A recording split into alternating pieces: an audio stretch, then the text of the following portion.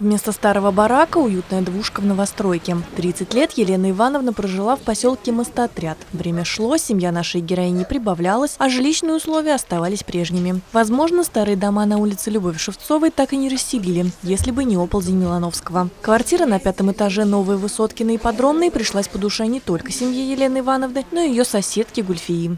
И вид с окна понравился, очень солнечная сторона. Все недоделки нам застройщик, вот, который я написала, мне все сделали, все исправили. А у меня точно такая же квартира, только на 12 этаже очень хороший вид с 12 этажа.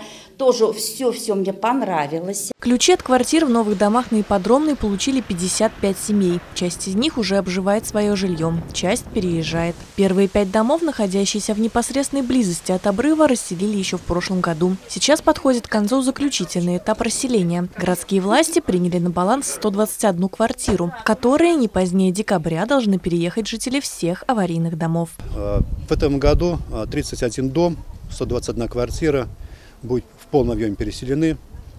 А строитель выполнил в полном объеме свои обязательства, строительная организация. И на сегодняшний день идет, идет процедура переоформления документов, передача от, от, от застройщика городу Ульяновску. И уже город оформляет, и, и уже оформляются договора мены а непосредственно собственники жилых домов, которые находятся в данном микрорайоне.